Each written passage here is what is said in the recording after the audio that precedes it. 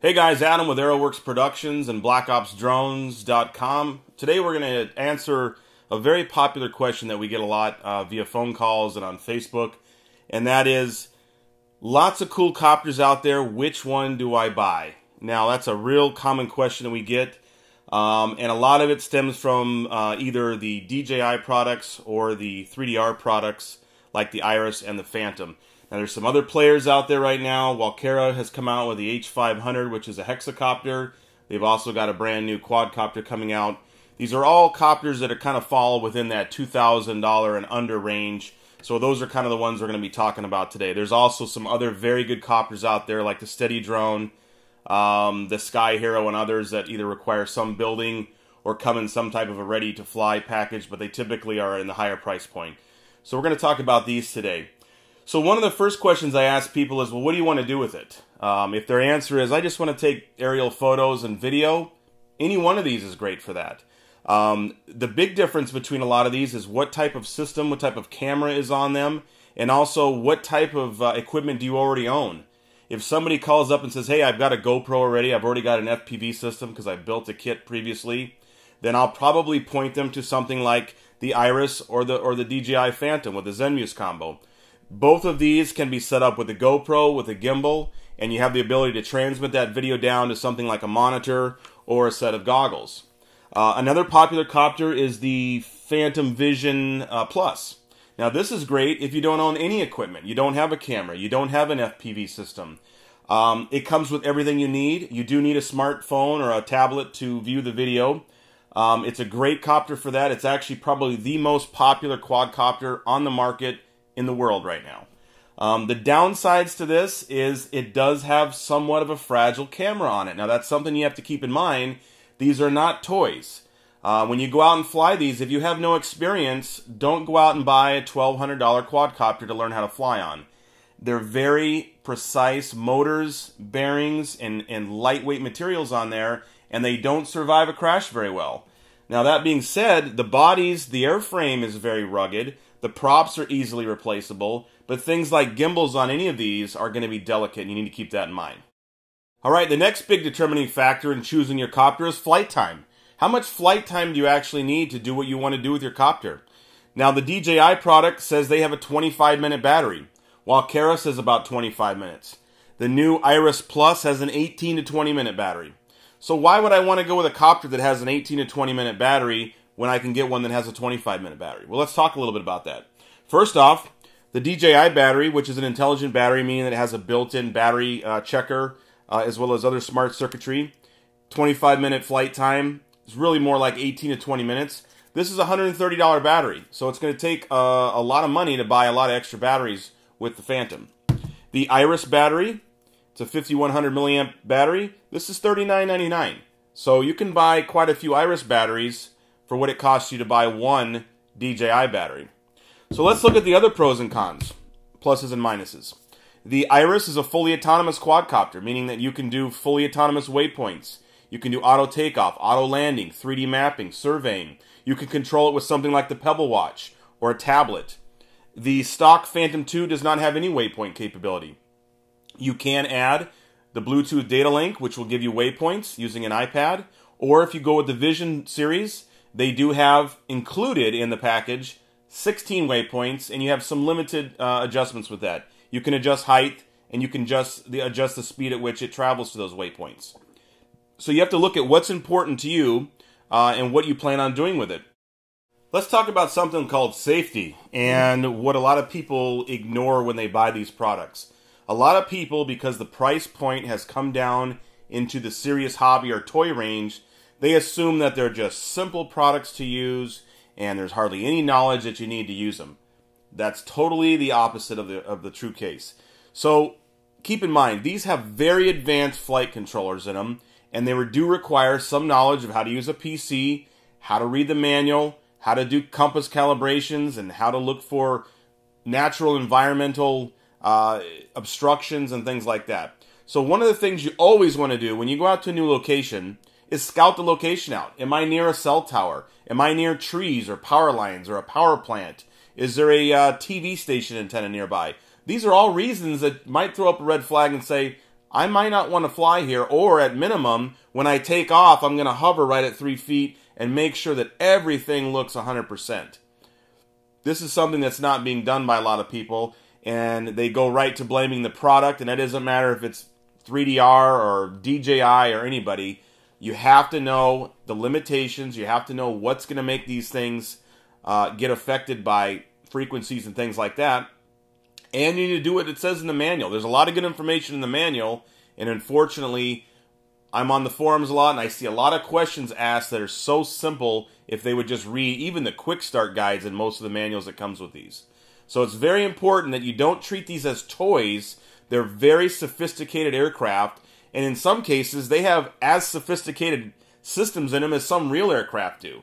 So you have to think of your think of it this way. Could I go jump in a 747 and take off and just fly it without any training? No, you couldn't. So don't treat these like uh, a, a, toy. You have to you have to do a little research. You have to do some homework.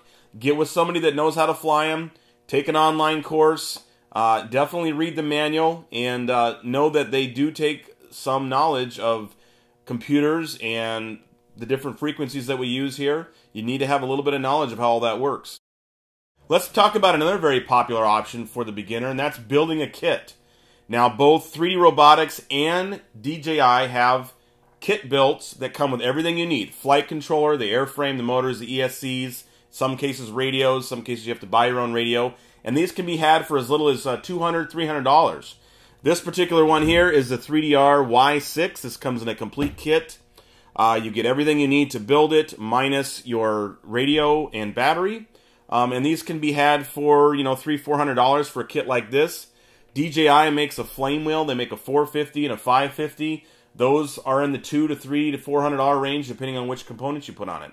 So that's a very good way for a beginner to start out. Learn how everything goes together. Learn what the flight controller is doing, which direction the motors spin, and in cases like the Y6 here, where you have this more open frame, you can get to all those components easily. So if you do have a crash, you can take something off, you can replace it, you can learn how it works, and, then it's a best it's one of the best ways to do it. And you don't have to worry about breaking the more expensive copters. Um, a lot of times in the case of the y6 this is the same pixhawk flight controller that's in the iris. So if you get used to how to update firmware and do programming on this one you're going to be able to do it on the iris down the road and that's the same case for the dji products all right so let's narrow it down a little bit and talk about two of the most popular quadcopters out there right now and that's the dji phantom and the 3DR Iris Plus. What do you get with them out of the box, and what are you going to need to get going to do aerial photography and video? We'll start with the Phantom 2 first. So you're going to get a battery, charger, the quadcopter, and in this case, on the Zenmuse combo, you're going to get the Zenmuse 3D gimbal. Now you're not going to get a GoPro, you're going to have to provide a GoPro, and you're not going to get an FPV system or an OSD on-screen display. So these are all additional items you're going to have to have, as well as either a monitor or goggles, or you can fly with both, to have a true fully flying uh, aerial package. So out of the box, you're going to have the quadcopter, one battery, a very simple radio, and your gimbal. Again, you're going to need to purchase a GoPro. You're going to need to purchase an FPV system and an OSD if you want to have on-screen display. With the Iris out of the box, you're going to get a very nice 9-channel radio with telemetry. You're going to get the quadcopter, battery charger, telemetry radios, meaning you can transmit that telemetry data to the ground via either a phone, tablet, smartphone device, or laptop. Um, you are going to get out of the box a fixed GoPro mount. You're not going to get a gimbal in this package, but it does have provisions right out of the box from the factory to mount up your gimbal to power and and control the tilt with the knob uh, for your gimbal. Now, what most people do with the Iris to bring it up to the Phantom is they put the gimbal on there, they put an FPV system, which we sell an all-in-one FPV system for it, and then that GoPro gets moved to the bottom, and now you've really got kind of apples to apples. The big differences, again, are the flight time, 18 to 20, 25, cheaper battery, more expensive battery, fully autonomous, no autonomous capabilities unless you add the limited waypoints to it. Full featured radio, which also has telemetry down here now, so you don't even have to have your tablet or your smartphone. You can actually view battery life, battery usage, GPS signal, GPS waypoints, and so on on the radio. Very nice packages to get started in this industry. 749 for the Iris, like it sits right here. Uh, about seven to 800, like this one sits without the GoPro. Again, the FPV system and OSD is going to be extra. And if you're not good or you don't feel comfortable doing soldering in that, you're going to have to have somebody do it. That's something that we do offer at Black Ops Drones. We sell complete packages on either of these. Uh, on the Spec Ops kit that we do provide with the Iris, that's a fully loaded Iris, gimbal, uh, FPV system, extra batteries, extra props, hard shell case, fully tested, upgraded, and test flown.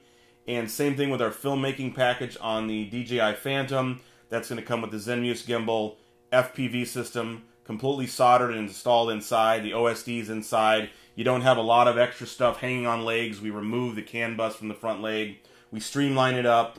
Um, we do have a company that does provide wraps if you want a custom wrap uh, for both the radio and the uh, Phantom. Outside of that, the only other options are whether or not you want to look at the uh, video image through goggles or you want to use something like our HD diversity monitor. In the case of either of these, the Immersion RC 600 milliwatt transmitter that we use, you can actually transmit the image to both at the same time. So if you have a director or a friend that wants to use goggles while you fly using the monitor or vice versa, you can. Well, hopefully we've been able to answer a few of your questions. I know there's probably a lot more questions out there, and feel free to leave a comment down in the comment section. And if you have a question, you can either use our contact us page at blackopsdrones.com or send us a message to YouTube. We answer pretty quickly. All these items, uh, pretty much all of them are available on our website at blackopsdrones.com. And we can also pretty much order uh, anything you want or custom build anything you want. So if you don't see something on the website, just shoot us an email or use the contact us page to get a hold of us. Appreciate you guys' time and hope this helps you out. And uh, blue skies and good luck.